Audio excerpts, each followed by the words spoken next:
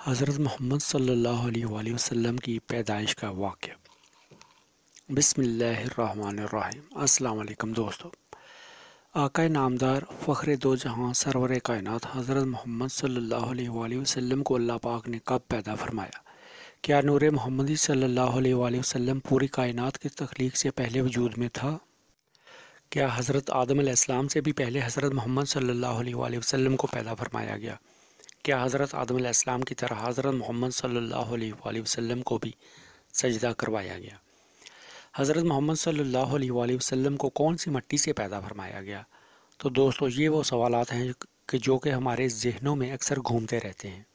आज की इस वीडियो में इन्हीं सवाल के जवाब कुरान और हदीस की रोशनी में दिए जाएँगे। कुरान और हदीस की तमाम तशरीहत और तफसीरत का मताल करने के बाद हमें यह मालूम होता है कि पूरी बज़म कौन मकाम है। महबूबियत अला के मुकाम पर एक ही ज़ात और एक ही शख्सियत फायज है। और बेशक वो नबी आखरुज़मा ताजदार कायनत, हज़रत मोहम्मद अलैहि वसल्लम की मुबारक ज़ात है। भला उस ज़ात से भी अफजल कोई हो सकता है कि जिसके लिए अल्लाह पाक ने तमाम मखलूक़ की तख्लीक की। अमाम आलूसी तफसीर रूहुलमानी में हदीस कुदसी है कि महबूब अगर आपको पैदा ना करता तो कायनात हस्त बूद को भी वजूद में ना लाता। हजूर सल्लल्लाहु अलैहि वसल्लम ने फरमाया ए जाबर, बेशक अल्लाह पाक ने तमाम मखलूक को पैदा करने से पहले मेरा नूर अपने नूर के फैज़ से पैदा फरमाया। फिर मेरा नूर मुश्त इलाही के मुताबिक जहाँ चाहता सैर करता रहा। उस वक्त ना लोह था, ना कलम, ना जन्नत, ना दोजक ना आसमान ज़मीन ना सूरज चाँद सितारे, ना कोई फरिश्ता, ना कोई जिन व इंसान। फिर जब अल्लाह पाक ने इरादा फरमाया कि मखलूक़ को पैदा करे तो उस नूर को चार हिस्सों में तकसीम कर दिया। नूर के पहले हिस्से से कलम को पैदा किया गया, दूसरे से लोह और तीसरे से अर्श को, जबकि चौथे हिस्से को फिर मज़ीद चार हिस्सों में तकसीम किया। पहले हिस्से को अर्श उठाने वाले फरिश्ते, दूसरे से कुर्सी तीसरे से बाकी तमाम फरिश्ते और फिर चौथे हिस्से को मज़ीद चार हिस्सों में तकसीम किया। पहले से आसमान, दूसरे से ज़मीन, तीसरे से जन्नत और चौथे से दोजह को तख्लीक किया। नाजरीन, हदीस कुदसी में अल्लाह पाक ने ख़ुद ही नूर मोहम्मदी से हर शय को तख्लीक फरमाने की वजह बयान फरमाई है। अरशाद बारी ताला है अगर मैं मोहम्मद सल्लल्लाहु अलैहि वसल्लम को पैदा ना करता तो ना आदम को पैदा करता और ना ज़मीन व आसमान को।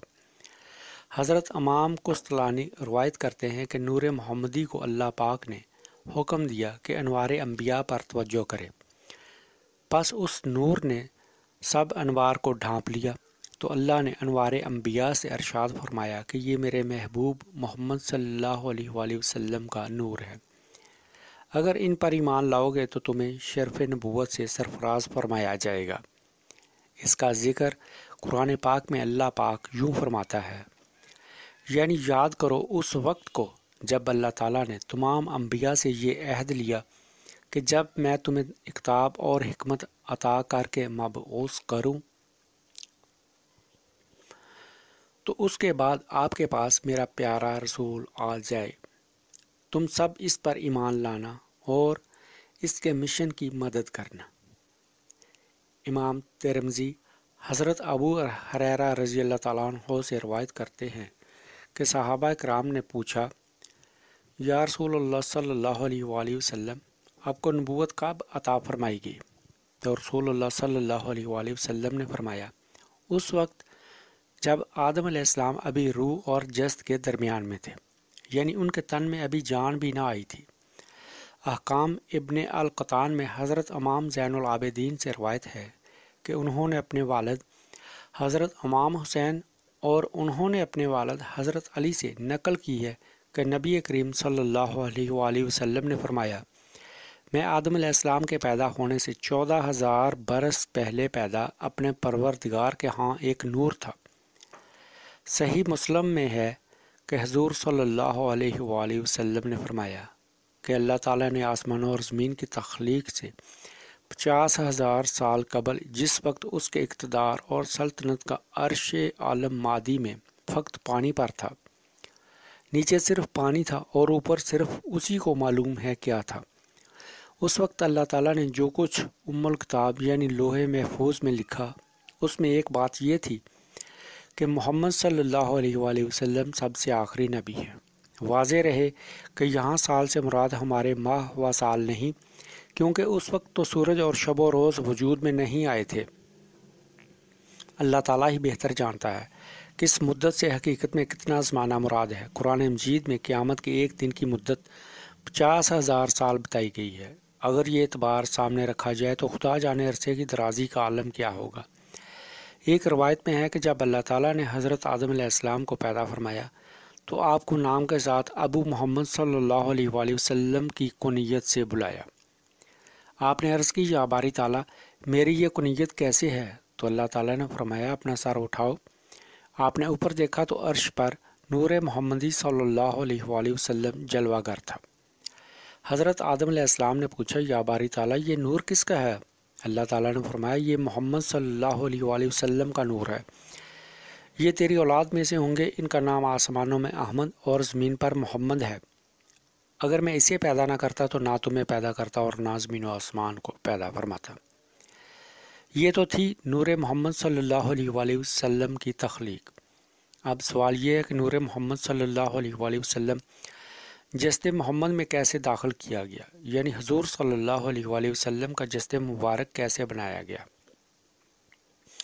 इस बारे में हज़रत काब अहबाब रज़ी अल्लाह तला से रवायत है कि अल्लाह ने नबी आखिर सरवर कायनत हज़रत मोहम्मद सल्लल्लाहु अलैहि वसल्लम को जब पैदा फरमाने का इरादा फरमाया तो हज़रत जब्राईसम को हुक्म दिया कि ऐसी मट्टी मेरे पास लाओ कि जो मेरे महबूब के जिसमें अतर के लायक हो। हज़रत जब्राईसम तीन दफ़ा मट्टी लेकर गए।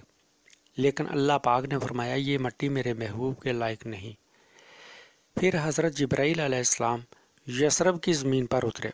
हजूर अक्रम वसल्लम से रोज़ा मुबारक वाली जगह से सफ़ेद मट्टी लेकर बार गाहे खुदाबंदी में हाज़िर हुए और खुदाबंदी से उसको तस्नीम के पानी से गूंदा गया। जन्नत की नहरों में धोया गया और फिर अल्लाह पाक ने नूर नबूवत को, जो कि हज़रत आदम की तख्लीक से चौदह हज़ार साल पहले और ज़मीन व आसमान की तख्लीक से पचास हज़ार साल पहले पैदा फरमाया।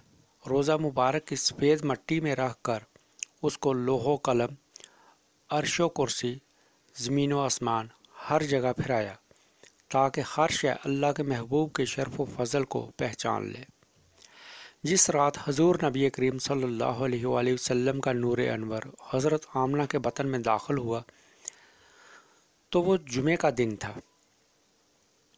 उस रात दोजक को बंद कर दिया गया और जन्नत के दरवाजे खोल दिए गए और ठंडी हवाएँ ज़मीन पर चला दी गई और एक मनादी ने पूरी कायनात में निदा दी, सब गवाह हो जाओ कि छुपा हुआ नूर अपनी वालदा के बतन में आ चुका है, जहाँ अब उसके जसद अंसरी की तकमील होगी और वो लोगों के लिए रहबर व बुशरा बनकर दुनिया में तशरीफ़ लाएगा।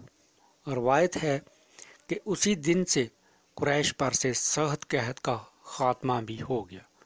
नाजरीन, सूरज, चाँद, सितारे, ज़मीन व आसमान यहाँ तक कि पूरी कायनात नूर नबी अलैहि वसल्लम की अता की है। रबील अल मोहब्बत का महीना है। अल्लाह पाक हमें इस महीने के फैज़ बरक़ात हासिल करने की तोफ़ी अता फ़रमाए। हमारा नाम ताजदार कायनात अलैहि वसल्लम के आशकों में लिखा जा सके। आमीन। सुम्मा आमीन।